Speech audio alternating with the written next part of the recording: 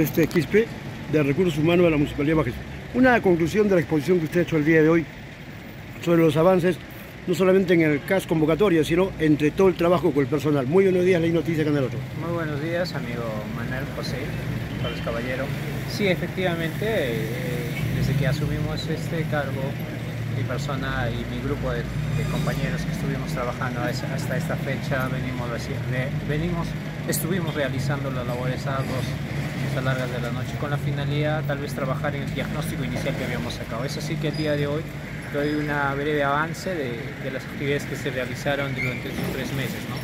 Es así que al día de hoy se satisface la necesidad de personal de la Municipalidad de Majes a un 70%, ¿no? quedando pendiente un 30% de plazas todavía por, por satisfacer. Seguramente el comité de selección eh, en su, su, momento hará con más transparencia, eh, siempre respetando la meritocracia, haciendo más justo posible para los postulantes y tal vez este de haciéndonos una media culpa, tal vez pudimos este, lanzar un pequeño sensibilización ¿no? para los postulantes, tanto en personal operativo, porque muchos de los descalificados de, de, esta convocatoria fueron porque no cumplieron con las bases. Uh -huh. Se da cuenta usted, un mal llenado, una mala organización de, de sus CVs, entonces tal vez fue ese caso, pero al final no es, entonces la finalidad es que nosotros podemos tener los mejores funcionarios y servidores públicos de la municipalidad. Es, es bien que estos que han ingresado, ¿no? los servidores que hoy día inicien las labores, que el día viernes iniciaron los compañeros, están en periodo de prueba.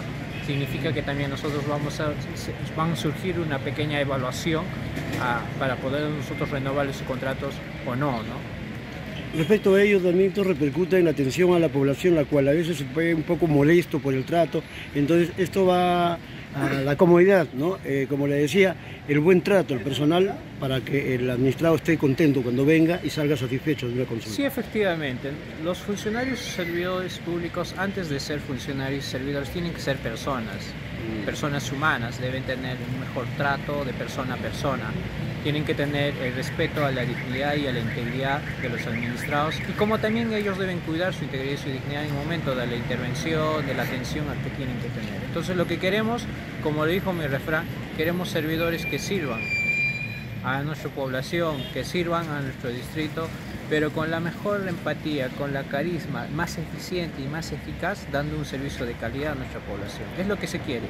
Y en la búsqueda de estos eh, de los postulantes que vienen ingresando al día es eso, de tal forma, en ese ímpetu, en esa trajín de querer satisfacer ellos.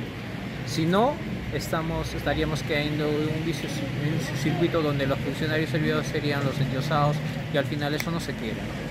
Eh, por último, el uniforme y la instalación de un cafetín, ¿esto es posible? El tema del uniforme, sabe usted muy bien que cada servidor o funcionario público sabe cuál es el traje que utiliza de acuerdo a su profesión. Uh -huh, claro. Eso no necesitamos ni aclararlo. Si bien es cierto, la, la municipalidad tiene la obligación de darle un uniforme, es verdad. Entonces nosotros también venimos en adquisición en la etapa.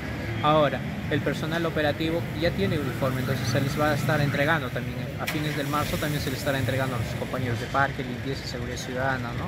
Entre otros compañeros, porque eso es lo que corresponde a la dotación correspondiente. Ahora, el tema del cafetín, como bien lo dijo nuestro señor alcalde, eh, es una propuesta que en el proyecto que se tiene en el nuevo Palacio Municipal de Ciudad Majes, el proyecto ya, ya mi, mi oficina ha hecho un informe, de, eh, haciendo un informe de, de, la situación del hacinamiento que existía entre las áreas, entonces lo que se, se está haciendo es a razón de eso, ¿no? Entonces me imagino en el proyecto que van a plantear van a poder ser posible todo esto, ¿no? Muchas gracias, señores.